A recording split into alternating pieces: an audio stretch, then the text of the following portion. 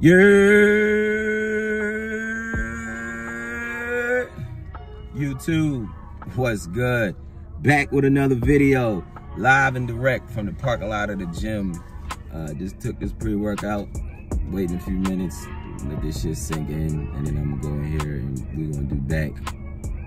Back, maybe shoulders, maybe some legs. We'll see. We'll see how I feel once this shit kicks in. But today, I wanna holler at y'all about staying in your own lane. Stay in your lane, all right? Because I know far too often these days, you get online, you see what somebody else doing, you see the success other people having, the cars, the clothes, the hoes, I suppose.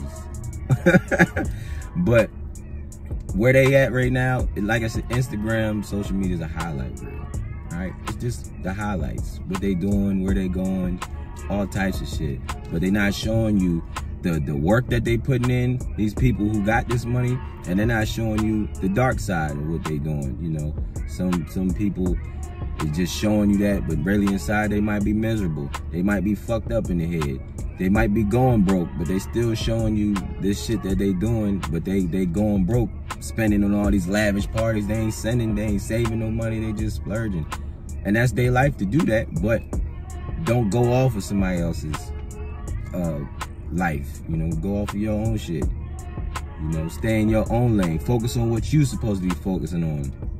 And then while you're doing it, enjoy the process while you're going through it. If you in the process right now of getting into real estate or, or YouTube or whatever the fuck you're doing, enjoy the process. Enjoy the heartbreak. Enjoy the the fucking hardships you gonna have to go through. Enjoy the, the two uh the two view video watches and shit like that. Enjoy all that shit. Cause once you explode, once you get to the pinnacle where you're trying to be at, you got something to look back for. You got something to look back on like, damn, I was really, I was really grinding right there. I was really, I, I still remember the feeling of when I was going through that. Like I still remember and it'll humble you when you get to that point. You know, it keep you grounded. Like, damn, I remember those nights I was up recording four, five, six videos. I remember them nights where my bank account was was negative $80 and shit like that. I remember them nights. I remember when I, I didn't know when I would be able to pay that, that light bill. We might be lighting candles in this bitch.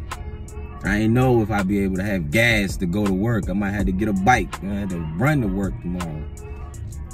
Remember that shit and, and keep that with you. You know what I'm saying? Stay in your own lane and don't and don't base your success off of somebody else's success. Understand yourself and know what the fuck will make you happy. You know what I'm saying? You might you might see motherfuckers with Benz trucks, lamb trucks, diamond grills and shit like that. And that might look like success to you. But is that success to you? Is that really what you want? You want the diamond grills? You want the, the lamb trucks? Maybe you might just like a, a hard ass uh, Ford F-150. You might like a Raptor. You know what I'm saying? You might like a tricked out Prius. You know what I'm saying? Who knows what the fuck you might like? But that's up to you. That's success to you. Success to you might be uh, comfortable, just being financially comfortable in the suburbs somewhere, out the mix, just making your money. That might be successful to you. You might not want to be out and doing all this shit. That's what I'm saying. What they present is just the highlight reels. That's not realistic. That's not your life. That's not what you need to be focused on. Focus on what you need to be doing, right? Next, and that goes into pocket watching. Don't pocket watch. Don't be pocket watching people. Don't be worrying about what somebody else is making.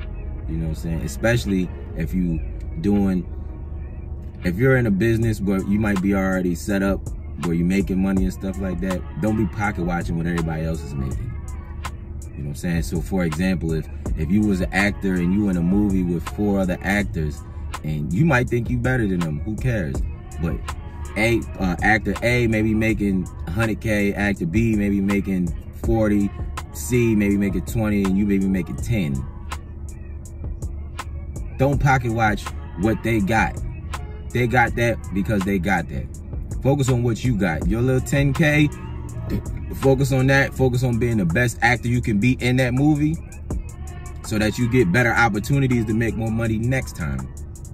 Right? Instead of pocket watching somebody else hating upset like, man, I'm better than him. I deserve to get the fucking 100K, blah, blah, and ruining the opportunity for you to progress in your craft. Right? You can't be pocket watching. Pocket watching is, is that's what women do. That's what women do. Pocket watching. We really go off of, uh, men, we really, we base our shit off of the results we see. Right?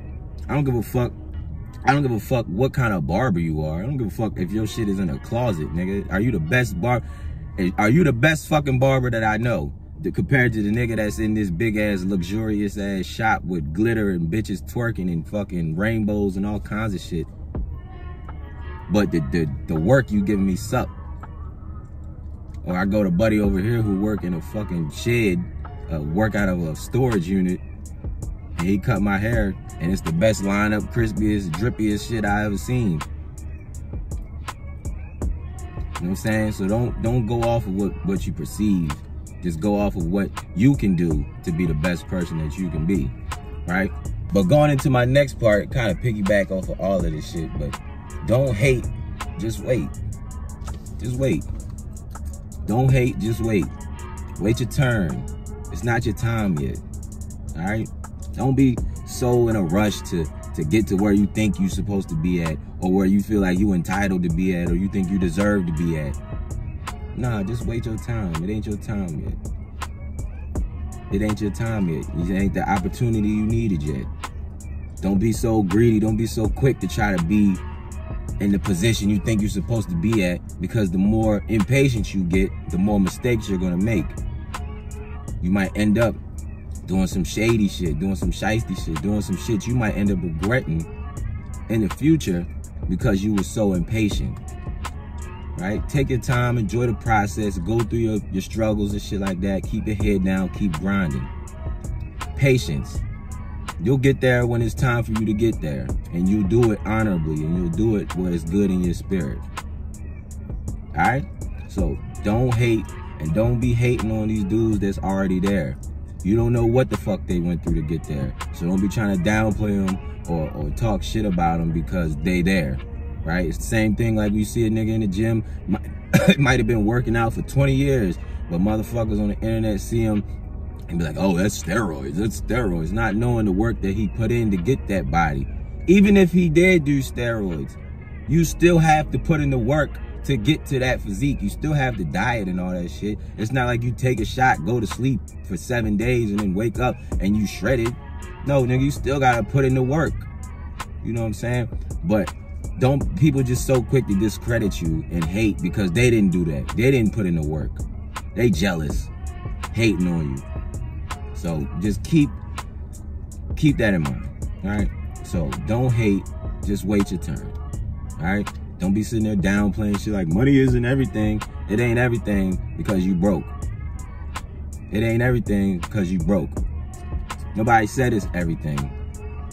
Shit, anything ain't everything, motherfucker.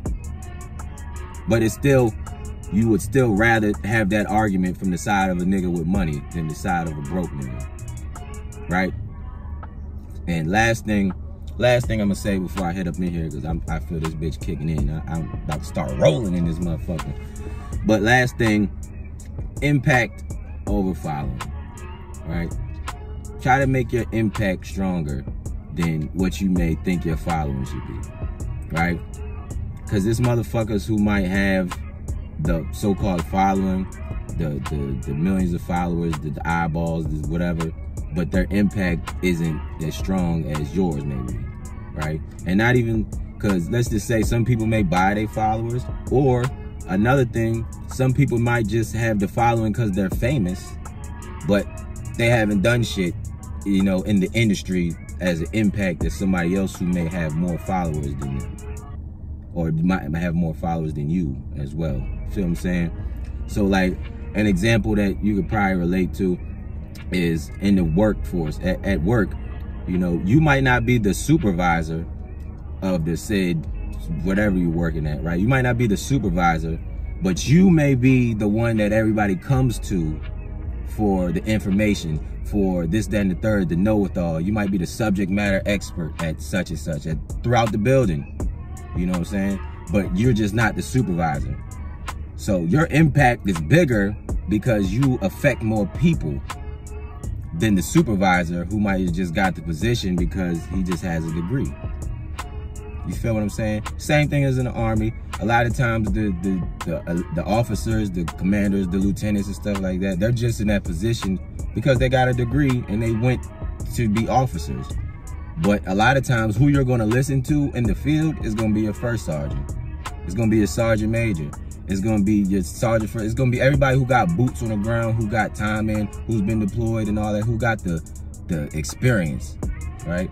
Now you do run into some officers who've been deployed and stuff like that, you know, but uh, usually you'll run into a motherfucker who's the same age as you. They just went officer and they're in charge of you, but they don't have the experience, right? So focus on making your impact stronger instead of worrying about the following you have, right?